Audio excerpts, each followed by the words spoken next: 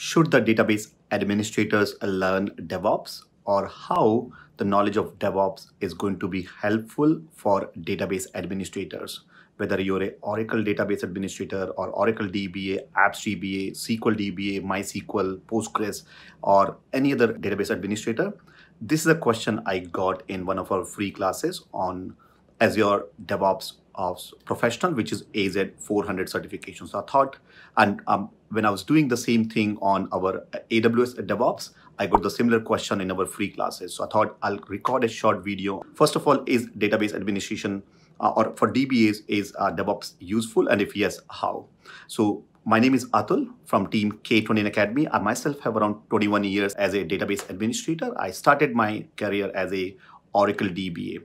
And last 10 10 or so years, I've noticed that more and more companies are moving towards DevOps. So if you have that question, I think you're in right place.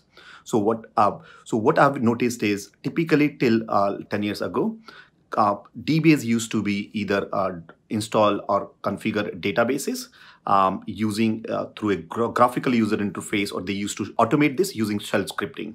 Uh, but then when you're deploying the applications uh, or when you're deploying the scripts or the application or your or SQL scripts, uh, either they were running it manually or using shell script.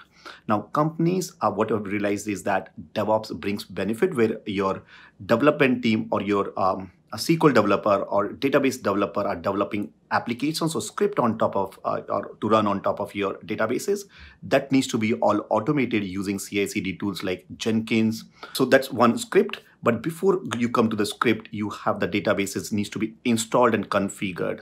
Those installation and configuration are now done using automation tools uh, like Ansible or Terraform and so on, both on-premise and cloud. Going back to the question, how the DevOps will be useful for DBAs is that uh, as a as a database administrators, companies or companies expect database administrator to automate uh, these things, but using the DevOps methodology, using DevOps tools like Jenkins, Ansible, or Terraform, or if you're working on cloud, maybe using some of the cloud tools like AWS DevOps uh, pipeline or a or Microsoft Azure pipeline.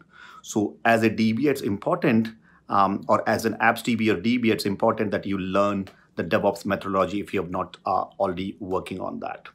Um, if now, if you're a DBA, let me know what do you think about it. Uh, should a DBA learn the uh, DevOps or not? Also, um, if you want a like we also do a lot of free classes on this DevOps, and if you're interested to know more about, you can check it out by going to k21academy.com forward slash uh, DevOps 02, just to see what are the DevOps, if you're new to DevOps.